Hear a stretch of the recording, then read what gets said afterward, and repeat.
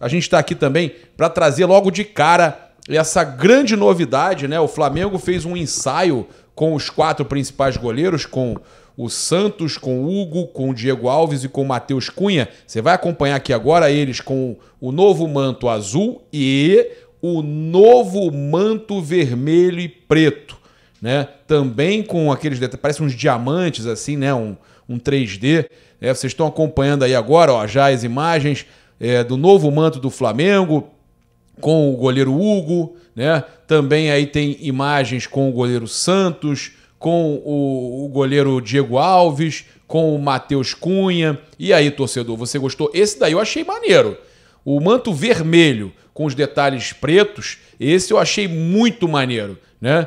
Esse aí, de verdade, é, é interessante. Agora, o, o manto azul está sendo muito comentado, muita gente que não gostou. Eu, sinceramente, não consigo achar nada, aquilo, nenhuma camisa do Flamengo feia. É, ele é diferente, ele é um manto diferente. Né? É, eu, eu tenho minhas preferências. Eu prefiro o rubro-negro. Se você me perguntar qual que você é, acha mais bonito, que gostaria de ver os goleiros atuando, é, eu diria para você que é o rubro-negro, óbvio. Mas o Flamengo, então eles fizeram esses ensaios aí com o manto azul e com o manto rubro-negro, que são os novos uniformes de goleiro do Flamengo.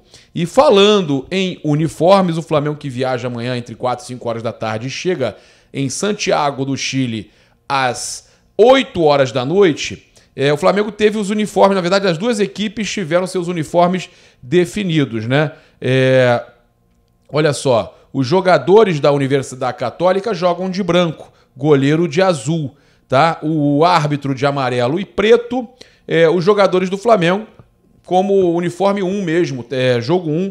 É, o Flamengo jogando com esse uniforme que eu estou utilizando aqui, né, rubro-negro, e o short branco, tá? É, a camisa do goleiro, o short, o uniforme do goleiro será rosa, né, como tem utilizado aí o Hugo Souza. Tá? Então, é, o jogo aí, Flamengo e, e, e, lá em Santiago, Flamengo e Universidade Católica se enfrentam no estádio San Carlos de Apoquindo, né? Pela terceira rodada da Copa Libertadores, às 19 horas desta quinta-feira, né? E o Flamengo, então, jogando com seu uniforme principal. É, também vamos, vamos passar para vocês aqui é, esses uniformes novos de goleiro. É, o azul, por exemplo, né?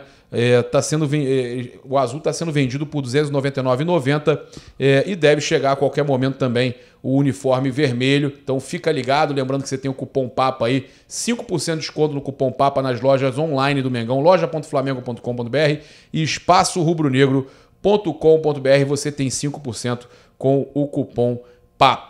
É, passar para vocês, então, uma notícia aí importante, né, que a gente teve aí o o, o Flamengo né, solicitando agora a confirmação aí do, do Caemota, que o Flamengo solicitou a mudança do mando de campo. Né?